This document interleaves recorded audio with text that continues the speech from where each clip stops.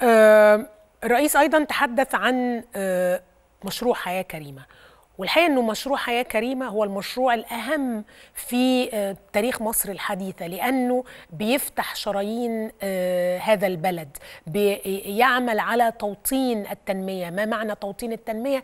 إن التنمية دي ما تبقاش حكرا على أماكن آه، عواصم بعينها أماكن حضارية بعينها بالعكس ده بيفتح شرايين الريف التي لم يقترب منها أحد لعقود من الزمن بيدخل فيها بيصلحها بيحسن أحوال الناس مش بس أحوال الناس البنى ولكن أحوال الناس الاقتصادية بيقدم لهم مساعدات بيقدم لهم آه، آه، يعني آه، مشروعات صغيرة ومتوسطة. فكل ده في مشروع حياة كريمة. اللي أظن أنه أهم مشروع إنمائي يعني هذا مشروع الحقيقة فعلا خلال ثلاث سنين لما حياة يعني إحنا بنتكلم في كام؟ 58 مليون مصري تتحسن يبقى عندهم مية نظيفة يبقى عندهم صرف صحي يبقى عندهم بيوت محترمة بيبقى عندهم آه، طريق مش طين مش لما المطره تمطر يبقى العيال بتقع فيه وهو رايحين المدرسة. حياة آدمية بجد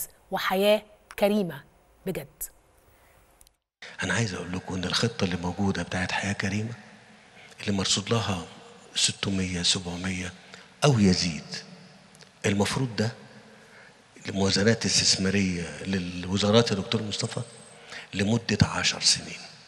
يعني الكلام ده كان ممكن يبقى الإنفاق ده يتم آه، تحقيقه خلال عشر سنوات قادمة عشان يحقق مراده.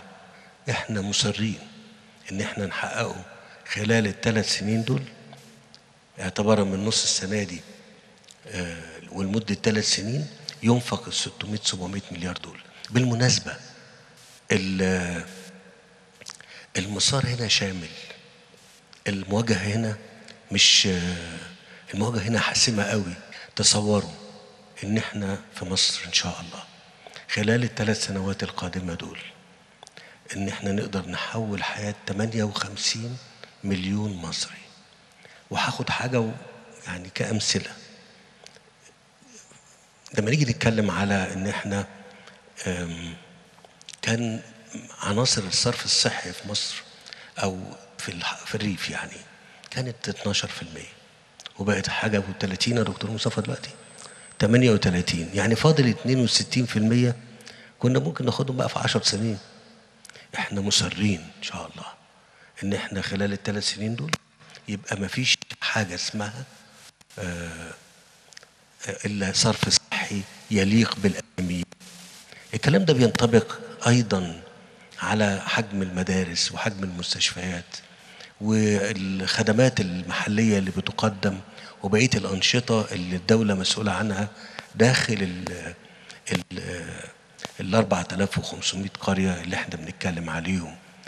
أنا ما أعرفش يا ترى التقرير القادم هيقدر يرصد حجم التحول الهائل